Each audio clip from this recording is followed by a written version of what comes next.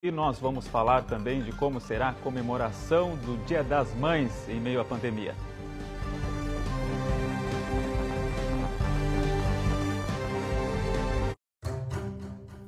Em Gaúcha ZH, você sabe das notícias ao mesmo tempo em que elas acontecem.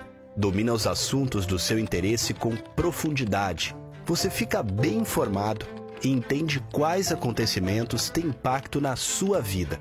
O conteúdo que você confia ao seu lado no digital.